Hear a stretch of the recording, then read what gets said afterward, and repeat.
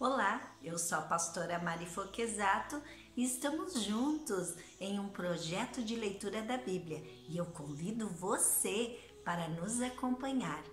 Se você ainda não é inscrito no canal, inscreva-se, toque no sininho e escolha a opção todas para que sempre que eu poste um vídeo novo você receba.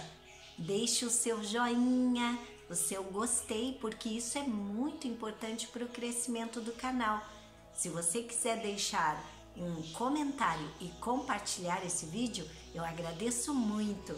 Vamos iniciar a leitura de hoje? Segundo Samuel, capítulo 7. A promessa de Deus a Davi.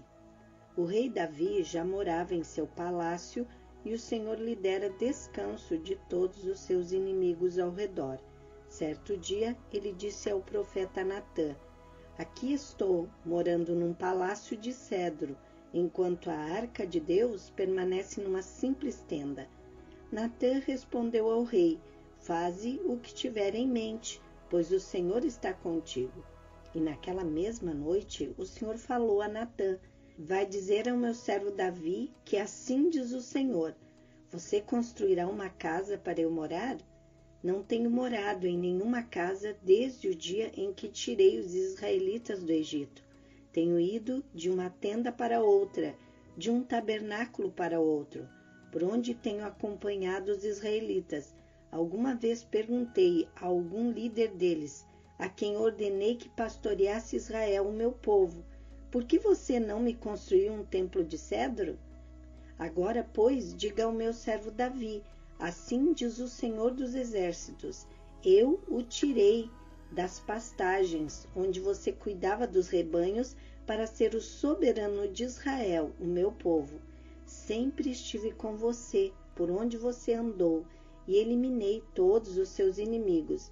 Agora eu o farei tão famoso quanto os homens mais importantes da terra, e providenciarei um lugar para Israel, meu povo, e os plantarei lá, que tenham seu próprio lar e não mais sejam incomodados. Povos ímpios não mais os oprimirão, como fizeram no início, e têm feito desde a época em que nomeei juízes sobre Israel, meu povo. Também subjugarei todos os seus inimigos. Saiba também que eu, o Senhor, lhe estabelecerei uma dinastia quando a sua vida chegar ao fim e você descansar com seus antepassados, escolherei um de seus filhos para sucedê-lo, um fruto do seu próprio corpo, e eu estabelecerei o reino dele. Será ele quem construirá um templo em honra ao meu nome, e eu firmarei o trono dele para sempre. Eu serei seu pai e ele será meu filho. Quando ele cometer algum erro, eu o punirei com o castigo dos homens, com açoites aplicados por homens.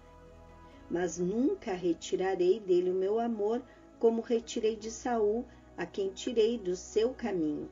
Quanto a você, sua dinastia e seu reino permanecerão para sempre diante de mim.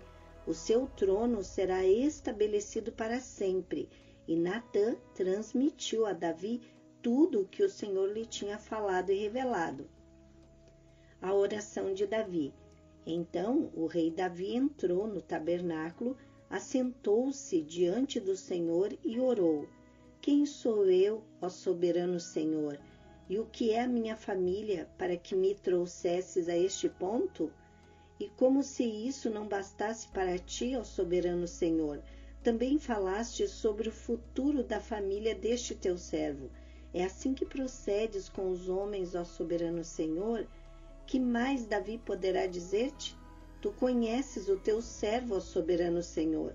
Por amor da tua palavra e de acordo com a tua vontade, realizaste este feito grandioso e o revelaste a teu servo. Quão grande és tu, ó soberano Senhor! Não há ninguém como tu, nem há outro Deus além de ti, conforme tudo o que sabemos e quem é como Israel, o teu povo, a única nação da terra que tu, ó Deus, resgataste para dela fazeres um povo para ti mesmo, e assim tornaste o teu nome famoso, realizastes grandes e impressionantes maravilhas ao expulsar nações e seus deuses diante desta mesma nação que libertaste do Egito?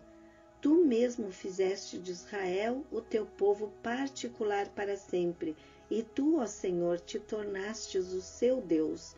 Agora, Senhor Deus, confirma para sempre a promessa que fizeste a respeito do teu servo e da sua descendência. Faze conforme prometeste, para que o teu nome seja engrandecido para sempre, e os homens digam: O Senhor dos exércitos é o Deus de Israel e a descendência de teu servo Davi se manterá firme diante de ti. Ó Senhor dos exércitos, Deus de Israel, tu mesmo revelaste a teu servo, quando disseste: Estabelecerei uma dinastia para você. Por isso o teu servo achou coragem para orar a ti. Ó soberano Senhor, tu és Deus, tuas palavras são verdadeiras, e tu fizeste essa boa promessa a teu servo Agora, por tua bondade, abençoa a família de teu servo, para que ela continue para sempre na tua presença. Tu, ó soberano Senhor, o prometeste, é abençoada por ti, bendita será para sempre a família do teu servo. Segundo Samuel, capítulo 8, as vitórias militares de Davi. Depois disso, Davi derrotou os filisteus e subjugou-os e tirou do controle deles Meteg Amá. Davi derrotou também os moabitas, ele os fez deitar-se no chão e mandou que os medissem com uma corda. Os moabitas que ficavam dentro das duas primeiras medidas da corda eram mortos, mas os que ficavam dentro da terceira eram poupados. Assim, os moabitas ficaram sujeitos a Davi pagando-lhes impostos. Além disso, Davi derrotou Adadezer, filho de Reobe, rei de Zobá, quando Adadezer tentava recuperar o controle da região do rio Eufrates. Davi se apossou de mil dos seus carros de guerra, sete mil cavaleiros e vinte mil soldados de infantaria. Ainda levou cem cavalos de carros de guerra e aleijou todos os outros. Quando os arameus de Damasco vieram ajudar Adadezer, rei de Zobá, Davi matou vinte e dois mil deles. Em seguida, estabeleceu guarnições militares no reino dos arameus de Damasco, sujeitando-os a lhes pagarem impostos. E o Senhor dava vitórias a Davi em todos os lugares onde ia, Davi também levou para Jerusalém os escudos de ouro usados pelos oficiais de Adadezer, de Tebá e Berotai, cidades que pertenciam a Adadezer, o rei Davi levou grande quantidade de bronze. Quando Tou, rei de Amate, soube que Davi tinha derrotado todo o exército de Adadezer, enviou seu filho Jorão ao rei Davi para saudá-lo e parabenizá-lo por sua vitória na batalha contra Dadezer, que tinha estado em guerra contra Tou. E com Jorão mandou todo tipo de utensílios de prata, de ouro e de bronze. O rei Davi consagrou esses utensílios ao Senhor, como fizera com a prata e com o ouro tomados de todas as nações que havia subjugado. Edom e Moabe, os Amonitas e os Filisteus e Amaleque. Também consagrou os bens tomados de Adadezer, filho de Reobe, rei de Zobá. Davi ficou ainda mais famoso ao retornar da batalha em que matou 18 mil edomitas no Vale do Sal. Ele estabeleceu guarnições militares por todo o território de Edom, sujeitando todos os edomitas. O Senhor dava vitórias a Davi em todos os lugares onde ia. Os oficiais de Davi. Davi reinou sobre todo Israel, administrando o direito e a justiça a todo o seu povo. Joabe, filho de Zerua, era comandante do exército. Josafá, filho de Ailude, era o arquivista real. Zadok, filho de Aitube, e Aimeleque, filho de Abiatar, eram sacerdotes. Seraías era secretário. Benaia, filho de Joiada, comandava os Queretitas e os Peletitas, e os filhos de Davi eram sacerdotes. Segundo Samuel, capítulo 9, Davi e Mefibosete. Certa ocasião, Davi perguntou: Resta ainda alguém da família de Saul a quem eu possa mostrar lealdade por causa da minha amizade com Jonatas? Então chamaram Ziba, um dos servos de Saul, para apresentar-se a Davi, e o rei lhe perguntou: Você é Ziba? Sou teu servo, ele respondeu.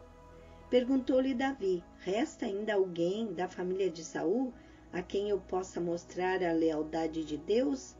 Respondeu Ziba: Ainda há um filho de Jonatas, aleijado dos pés. Onde está ele? perguntou o rei. Ziba respondeu: Na casa de Maquir, filho de Amiel, em Lodebar. Então o rei Davi mandou trazê-lo de Lodebar. Quando Mefibosete, filho de Jonatas e neto de Saul, compareceu diante de Davi, prostrou-se com o rosto em terra.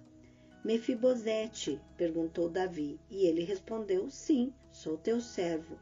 Não tenha medo, disse-lhe Davi, pois é certo de que eu o tratarei com bondade por causa da minha amizade com Jonatas, seu pai. Vou devolver-lhe todas as terras que pertencem a seu avô Saul, e você comerá sempre à minha mesa.